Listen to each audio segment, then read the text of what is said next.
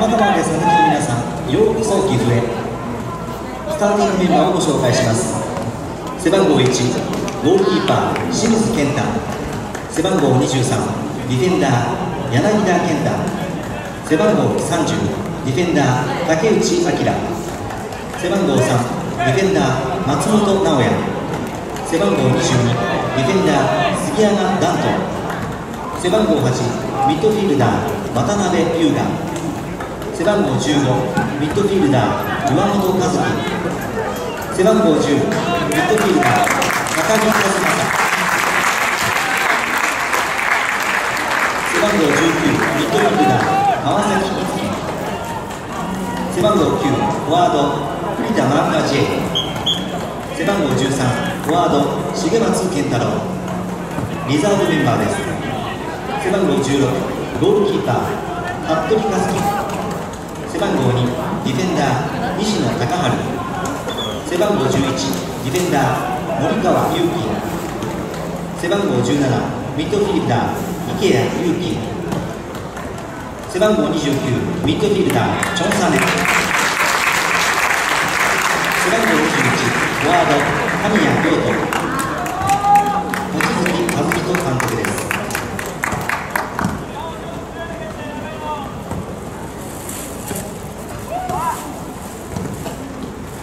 本日のマッチコミッショナーは高橋正則。主審津谷雄三。副審一山村正弘。副審2若宮健二第4の審判員高野優作です。